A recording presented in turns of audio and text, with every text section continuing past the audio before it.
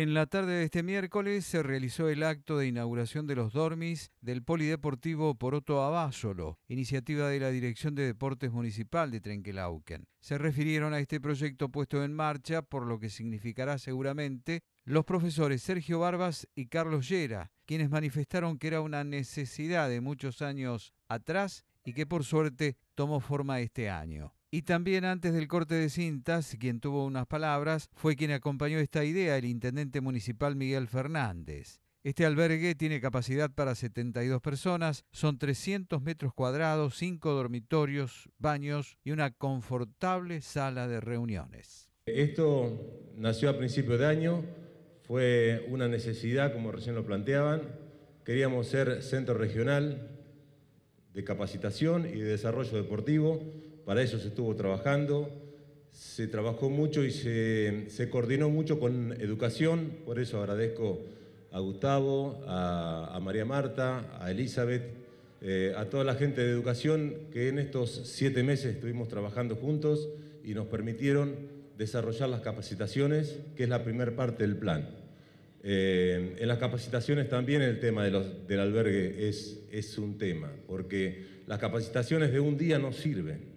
Las capacitaciones tienen que ser de dos o de tres días para que realmente los conocimientos queden bien, bien afianzados. Y, se necesitaba un lugar como este para decirle, vengan, Trenquelauquen está dando capacitaciones y, lo estamos haciendo no solamente para Trenquelauquen, sino también para la zona.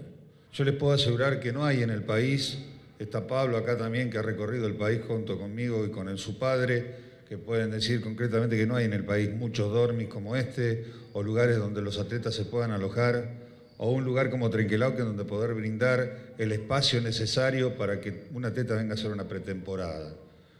¿Por qué no soñar? ¿Por qué no empezar a pensar de que acá pueden venir atletas de primer nivel nacional a hacer pretemporadas, a brindarles servicios?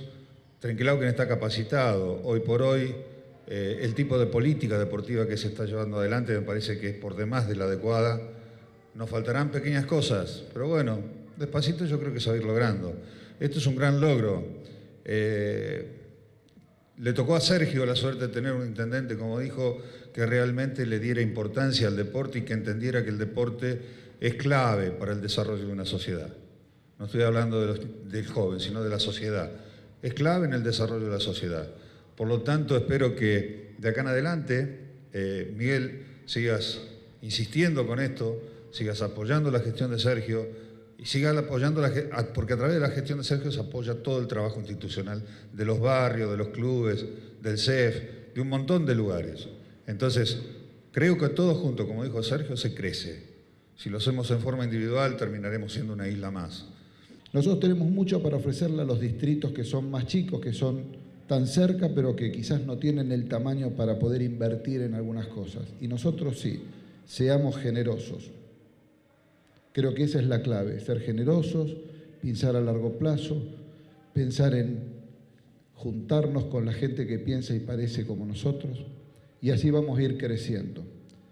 Y en la medida que crezcamos todos, vamos a poder achicar distancias, tener equipos competitivos, y entonces esto puede ser un gran, un gran futuro para empezar incluso a tener y vincular esto con el turismo, con el turismo receptivo.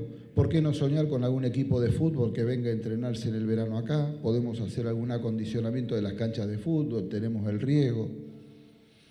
Soñemos, porque de eso se trata.